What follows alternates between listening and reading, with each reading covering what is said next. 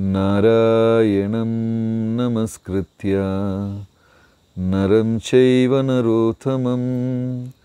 देवीं सरस्वतीं व्यासं ततो जयमुतिरयेन् हे कृष्णकरुणा सिन्धु, दीनबन्धु जगत्पते। गोपेश गोपिकान्त राधाकान्त, नमोऽस्तु ते। तप्तकाञ्चन गौराङ्गी राधे वृन्दावनेश्वरी, वृषभानुसुते देवी प्रणमामि हरिप्रिये।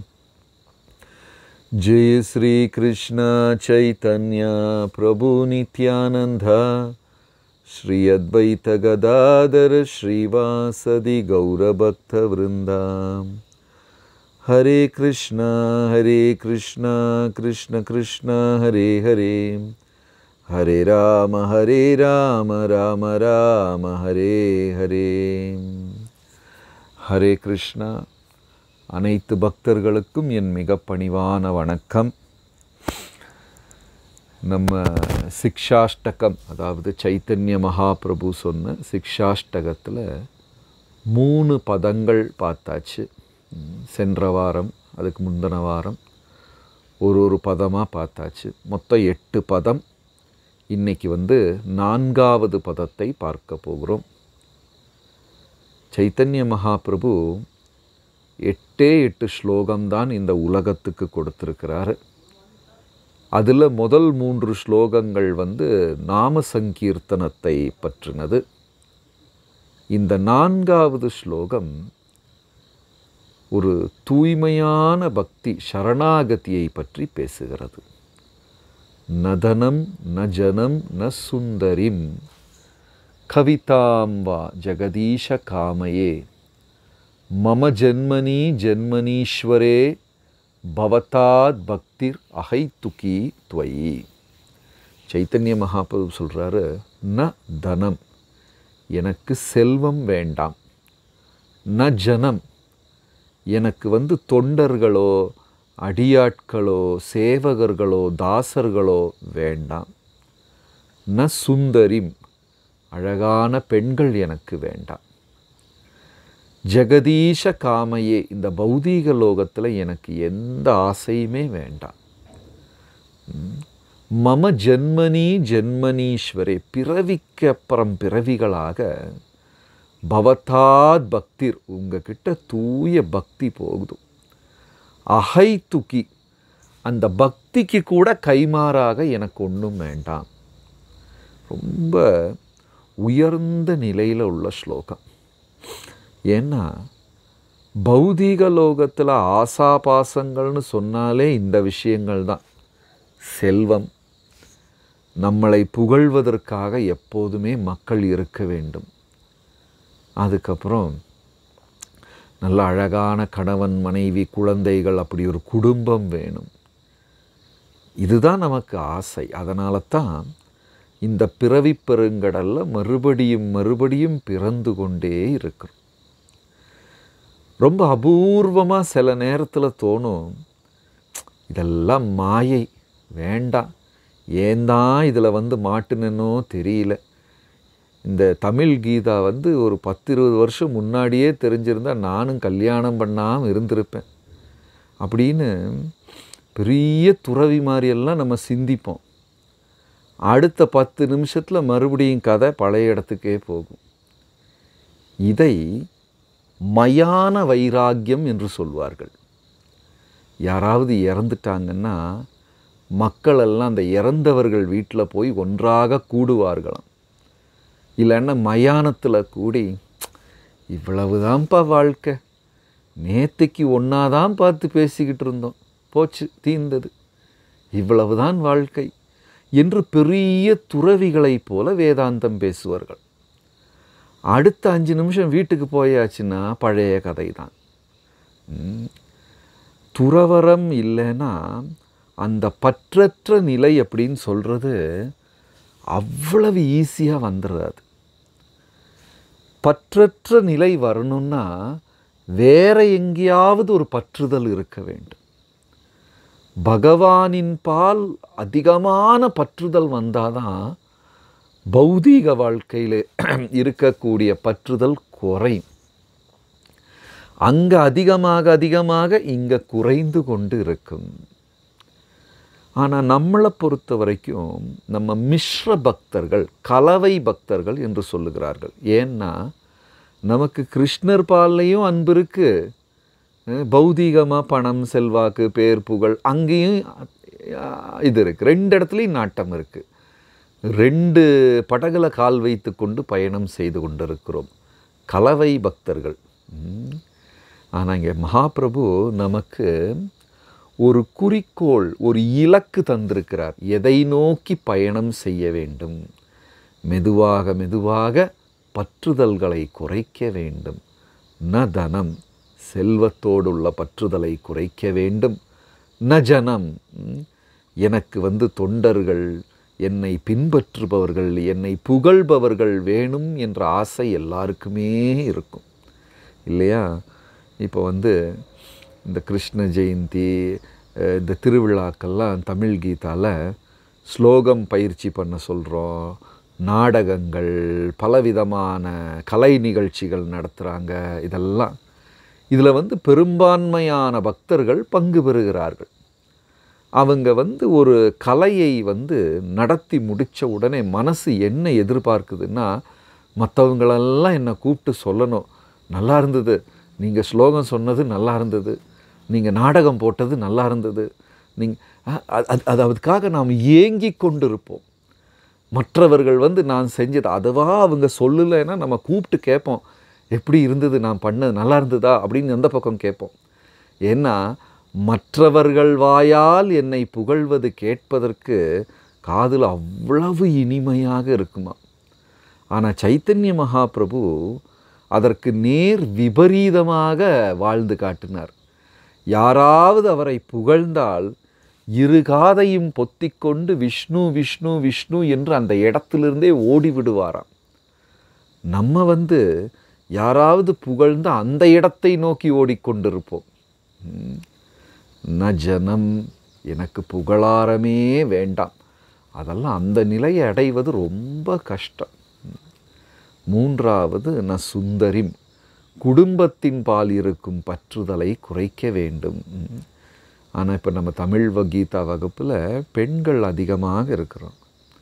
ஸோ பெண்களுக்கு வந்து ஒரு ஒரு ஒரு சதவீதம் வரை பற்றுதல் அனுமதிக்கப்பட்டிருக்கிறது. ஏன்னா அந்த பற்றுதல் இருந்தால்தான் குழந்தைகளை அன்பாக வளர்த்த முடி வளர்க்க முடியும். குடும்பத்தை அழகாக பாதுகாத்து கொள்ள முடியும்.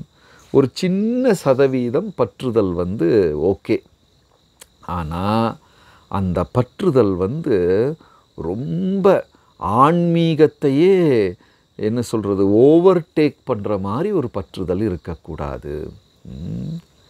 கவிதாம்பா ஜெகதீஷ காமையே. மகாபிரபு என்ன சொல்கிறாருன்னா எனக்கு இந்த பௌதீக லோகத்தில் எந்த ஆசையும் வேண்டாம். ஏன்னா என்ன ஆசை நல்ல ஆசை இருந்தாலும் சரி கெட்ட ஆசை இருந்தாலும் சரி அந்த ஆசையை நிறைவேற்ற மறுபடியும் பிறந்துதான் ஆக வேண்டும். எங்கேயோ ஒரு ஸ்லோகத்தில் பாகவதத்தில் சொல்கிறாங்க இந்த பிறவியில் பெண்களாக பிறந்தவர்களெல்லாம் அடுத்த பிறவியில் ஆண்களாக பிறப்பார்கள். அடுத்த பிறவியில் இந்த பிறவியில் ஆண்களாக பிறந்தவர்களெல்லாம் அடுத்த பிறவியில் பெண்களாக பிறப்பார்கள். இந்த கதைக்கு ஒரு முடிவே கிடையாது. புனரப்பி ஜனனம் புனரப்பி மரணம். ஏன்னா ஆண்களுக்கு பெண்கள் மீது பற்று பெண்களுக்கு ஆண்கள் மீது பற்று. திரும்ப திரும்ப திரும்ப திரும்ப பிறந்து ம், ஏன்னா நிறைய பெண்கள் சொல்லி கூட நாங்கள் கேட்டிருக்கிறோம் ஒரு ஆணாக பிறந்திருந்தால் இந்நேரம் நான் வந்து உலகத்தையும் எடுத்து தலைகீழாக வச்சுருப்பேன். ஒரு சட்டியை கூட தலைகீழாக வைக்க முடியல. அப்படி இருந்தால் இப்படி பேசியிருப்பேன் இப்படி இருந்தால் அப்படி பண்ணியிருப்பேன் அப்படி என்று நாம் நிறையா வாதம் செய்வோம். ஆனால் வெற்றி பெறுவது யார்? மாயை தான் மாயை தான் வெற்றி பெற்று கொண்டு இருக்கிறது நம்மை தூக்கி கருப்பாம்பூச்சி உடம்புக்குள்ளே போட்டு எலியின் உடலுக்குள்ளே போட்டு மரங்களாக செடி கொடிகளாக தாவரங்களாக ஊர்வனாக பறவைகளாக விலங்குகளாக பிறந்து பிறந்து ஆனால் ஒரு நாளைக்கு கூட போதும் என்று சொல்லவே இல்லை. மறுபடியும் மறுபடியும் பிறந்து கொண்டிருக்கிறோம். மூன்றாவது வரியில் சொல்கிறார் மகாபிரபு மம ஜன்மனி ஜென்மனீஸ்வரே பிறவிக்கு அப்புறம் பிறவிகளாக பவதாத் பக்திர் பகவானே உங்களின் பால் பக்தி. அது எப்படிப்பட்ட பக்தியாக இருக்க வேண்டும்? அகைத்துக்கி கீத்வயி பக்தியில் கூட எதிர்பார்ப்பு இருக்கக்கூடாதான்.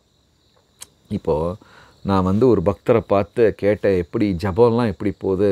நான் நிறுத்திட்டேன் பிரபு ரெண்டு வாரமாக ஜபம் நிறுத்திட்டேன். ஏன் பிரபு நிறுத்துனீங்க? ரெண்டு வருஷமாக ஜபம் பண்ணுறேன் ஒரு வேலை கூட கிடைக்கல. அதனால் நான் ஜபம்லாம் நிறுத்திட்டேன்.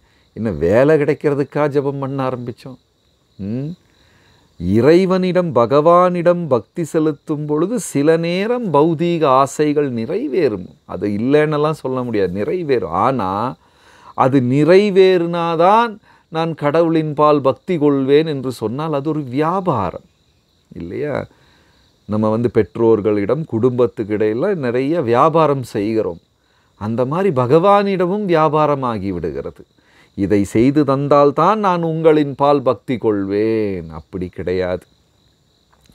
கிருஷ்ணா நீங்கள் என்னை போட்டு மிதித்தாலும் சரி என்னை வெறுத்து ஒதுக்கினாலும் சரி என்னை அன்பால் அரவணைத்து கொண்டாலும் சரி. நீங்கள் என்ன பண்ணாலும் சரி நான் பிறவிக்கப்புறம் பிறவி உங்களிடம் பக்தி கொண்டிருப்பேன். அந்த பக்தியில் நான் எந்த எதிர்பார்ப்பும் வைத்து கொள்ள மாட்டேன். அதாவது ஸ்ரீரங்கத்துக்கு பக்கத்தில் என்னது கோவூர் பேர் மறந்து போச்சு ஒரு மகாபக்தர் இருந்தார். பெரிய தான தர்மம் செய்யக்கூடிய கொடை வள்ளல். எனக்கு டக்குன்னு அவர் பேர் மறந்து போச்சு. அவர் வந்து தினமும் சாரி ஸ்ரீரங்கம் கிடையாது வரதராஜர். கேட்பாராம் பகவான் தாயார்கிட்ட கேட்பாங்க என்ன காலையிலையும் சாயங்காலம் இவர் கதை பயங்கரமான சத்தம் கேட்குதே அப்படின்னு ஒன்று லட்சுமி தாயார் சொல்லுவார்களாம். அவர் வந்து தன் வீட்டை திறக்கிறாரு. தான தர்மம் செய்வதற்காக ஏழை எளியோர்களுக்கு மற்றவர்களுக்கு உதவுவதற்காக அவர் தன் கதவை திறக்கிறார். யாருக்காவது அந்த பக்தரோட பேர் தெரிஞ்சால் மெசேஜில் போடுங்க. எனக்கு திடீர்னு மறந்து போச்சு. அப்போது அவ்வளவு தானம் செய்வாராம். தினமும் கதவை காலையில் வீட்டை திறக்கிறதே ஏழை எளியோருக்கு தானம் செய்வதற்காக. மக்களுக்கு வந்து பணம் பொருள் உணவு அப்படின்னு சொல்லி தானம் செய்து இரவில் வந்து தன் கதவை அடைப்பாராம் உடனே பகவான் சொல்லுகிறார் லட்சுமி தாயாரிடம் எனக்கு ஒரு நாள் அவரை பார்க்கணும். இவ்வளவு பெரிய பக்தரா? இருக்கிறத பூரா தானம் செய்கிறாரே. அவரை ஒரு நாளைக்கு பார்க்க வேண்டும் என்று பகவான் ஆசைப்பட்டார்.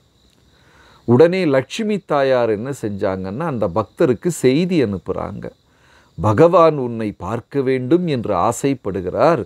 நீ வந்து பகவானுடைய தரிசனம் எடுக்க வேண்டும். உடனே அந்த பக்தருக்கு ரொம்ப ஆச்சரியமாக போச்சு. இவ்வளவு நாள் நான் இருந்தேன் ஏன் திடீர்னு என்ன பார்க்கணுன்னு ஆசைப்படுறாரு? அது டெய்லி காலையில் உன் வீட்டு கதவு சத்தம் கதவு திறக்கக்கூடிய சத்தம் அவர் காதுக்கு எட்டி விட்டது நீ அந்த அளவுக்கு தான தர்மம் செய்கிறாய். உன்னை பார்த்து உன்னை மெச்ச வேண்டும் புகழ வேண்டும் என்று பகவானுக்கு ஆசை என்று சொல்லுகிறார்கள். அதை கேட்ட உடனே அந்த பக்தருக்கு ஒரு எண்ணம் என் பக்தியால் பகவான் என்னை பார்க்க வேண்டும் என்று ஆசைப்படவில்லை. நான் செய்யும் தான தர்மத்தால் என்னை பார்க்க வேண்டும் என்று ஆசைப்படுகிறார். நான் ஒரு பக்தன். ம், என் பக்தியைத்தான் பகவான் கூறத்தாழ்வார். அப் கரெக்டாக சரிதானா? ஆமாம் கரெக்டு தான். கூறத்தாழ்வார். அவர் ஊர் தான் கூரம். ம் சரிதான். கூரம். காஞ்சிபுரத்துக்கு பக்கத்தில் ஒரு இருபது கிலோமீட்டர் தொலைவில் அந்த ஊர் இருக்குது கூரம். அங்கே இருந்து கதவு திறந்தால் காஞ்சிபுரத்தில் கேட்குமா பெரிய கேட் பெரிய செல்வந்தர் ஜமீன்தார் அவர். கூறத்தாழ்வார் கூரத்தாழ்வார் நினைக்கிறாரு என்னுடைய தான தர்மத்தால் பகவான் என்னை பார்க்க வேண்டும் என்று ஆசைப்படுகிறார். பக்தியால் பார்க்க வேண்டும் என்னை ஆசைப்படலையே அப்படின்னு நினச்சிட்டு அன்னைக்கு கதவை திறந்து வந்தவர்கள் போனவர்களுக்கெல்லாம் தானம் செய்து விடுகிறார். மக்கள்கிட்ட சொல்கிறாரா என்ன வேணால் நீங்கள் எடுத்துக்கிட்டு போய்க்கோங்க அப்படின்னு சொல்லி அனைத்தையுமே துறந்து விட்டு அவர் நேராக ராமானுஜரை பார்ப்பதற்காக பயணம் செய்து விடுகிறார். நம்மளை கூட இவர் நல்லா பாட்டு பாடுவாருங்க. இவர் நல்ல சமையல்காரரு. இவர் வந்து நல்ல சேவைகள் செய்வார். அப்படி பகவான் அறிவதை விட சேவைகள் நல்லதுதான். அப்படி பகவான் அறிவதை விட இவர் தூய பக்தர் என்று பகவான் அறிய வேண்டும் என்று நாம் ஆசைப்பட வேண்டும். நம்ம பக்தியில் வந்து எதுவுமே எதிர்பார்க்கக்கூடாது நான் ரெண்டு வருஷமாக ஜெபம் பண்ணிட்டேன். என் கணவர் வந்து என் கட்டுப்பாட்டில் வந்துடணும் ரெண்டு வருஷமாக ஜெபம் பண்ணிட்டேன். என் குழந்தைகளுக்கு நல்ல திருமணம் நடக்க வேண்டும். இது வியாபாரம். இது கடைநிலை பக்தி. பகவானுக்கு ரொம்ப ஈஸியாக இந்த மாதிரி பக்தி செஞ்சால் என்ன? அதை நடத்தி கொடுத்து விட்டு அப்படியே உங்களை தள்ளி வச்சிருவார். அவ்வளோதான் ஏன்னா நீங்கள் ஜெபம் பண்ணி ஆசைப்பட்டது என்ன? என்னுடைய மகளின் திருமணம் நடக்க வேண்டும். ஈஸியாக நடத்தி வச்சிருவார். ஆனால் எனக்கு பணம் வேண்டாம் பொருள் பொருள் வேண்டாம் செல்வாக்கு வேண்டாம் புகழ் வேண்டாம் அது வேண்டாம் இது வேண்டாம்னு சொல்லி சொல்லி ஜெபம் பண்ணுற தூய பக்தர்களுக்கு பகவான் எதை கொடுப்பதென்று தெரியாமல் தன்னையே அவர்களுக்கு அர்ப்பித்து விடுவாராம். அதுதான் பாகவதத்தில் கோபிகைகளின் பக்தி. அவங்க பக்தி பண்ணிட்டு எதுவுமே கேட்கல அதனால் பகவான் தன்னையே அவர்களுக்கு அர்ப்பணம் செய்து விட்டார். சைத்தன்ய மகாபிரபுவின் நான்காவது பதம் ரொம்ப சிறப்பானது. ஹரே கிருஷ்ணா நன்றி வணக்கம்.